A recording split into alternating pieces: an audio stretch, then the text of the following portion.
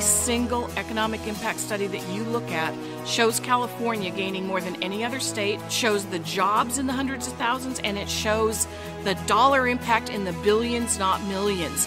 This is a game changer. The reason we want these people to come here is for jobs. This is this is something that we haven't seen before since since before Silicon Valley. It just makes sense.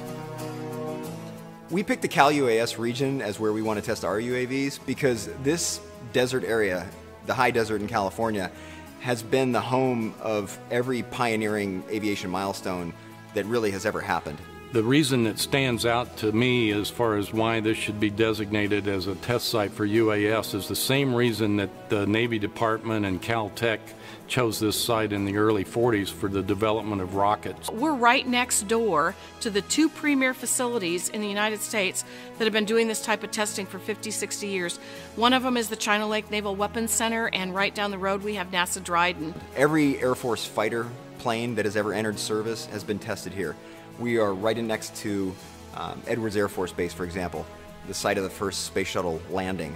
Um, we're nearby Mojave Airport, and we cooperate with them, where SpaceShipOne was the first spaceship created by civilians to make a non NASA person an astronaut. Industry worked with Congress and said, hey, you need to open up the sky so that we can test these unmanned systems in the same airspace for commercial applications. And so Congress worked with the FAA, and what resulted was this bit of legislation. And it was part of the FAA Modernization and Reform Act, and it directed the FAA to name six sites across the country where they could do research and testing with an eye toward figuring out how to safely integrate these commercial unmanned systems into the national airspace. A lot of people think of drones as just military only, and for sure the military was out of the gates first with UAV technology, but the civilian applications actually outweigh the military in the new economic impact reports and studies that have been done. We're talking about small things from the size of a little model helicopter on up to medium sized aircraft that potentially could be flown manned. However, they've been converted to be unmanned systems, and they're not for military purposes necessarily, but for agriculture, law enforcement, education, environmental Forest Service could use them. There's unlimited ways that these systems could be used to save money. Instead of flying manned aircraft like helicopters that cost thousands of dollars an hour, you can fly one of these unmanned systems for pennies an hour. So we decided to put in a proposal to the FAA with Inyokern as the hub um, but we decided that we wanted some partners. And so we started talking to airports in the region, we started talking to industry, we started working with academia, and we came up with the name Cal UAS to indicate an area that would have Inyokern as the nucleus, but that would be bigger so that we could um, include our industry partners and academia in that.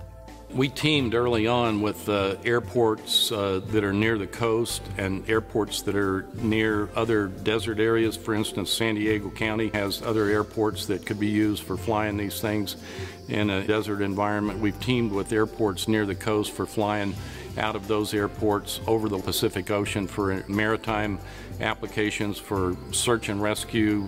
We've got the mountains here, we've got the desert here, we have the restricted airspace, we have access to the coast over sparsely populated areas, so we think it makes sense for Inyokern to be a hub for these uh, systems because we can access all of those kinds of environments. We are in the middle of nowhere. We have beautiful, pristine, remote, unencumbered, unencroached, Class E airspace. This is the perfect environment for doing this type of work.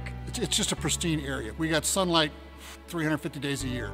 We've got mountains, we've got lakes, we've got uh, desert, we've got cold weather, we've got hot weather, we've got a mix of just about everything. We can basically replicate any area we want to on the planet, and it's all right here local.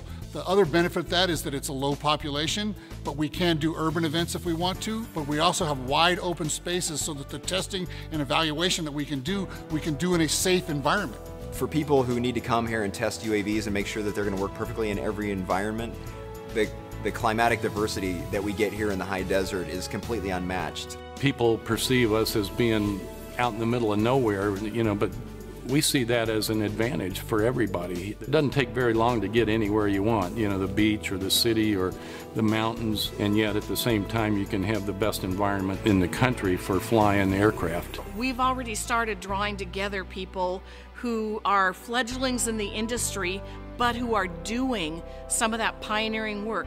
We've pulled them together We've built a lab here at Inyokern in an existing building, calling it the Cal UAS Lab. We have a great infrastructure here of uh, electrical and water and, and sewer and all of that for building new facilities. We've got several buildings here, large hangars and large uh, office buildings that are available right now that are beginning to be filled up with uh, with tenants, and uh, and yet we've got the the possibility of, of building more because our land lease rates are very cheap compared to a lot of airports, especially in California.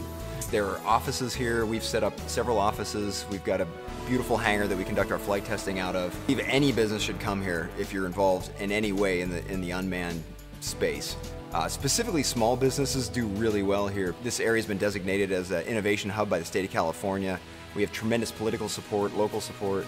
So small businesses could really come and work under Cal UAS and out of Inyokern Airport and thrive. Community leaders recognize that there's going to be a, a benefit from this business at Inyokern and, and that, that is going to grow.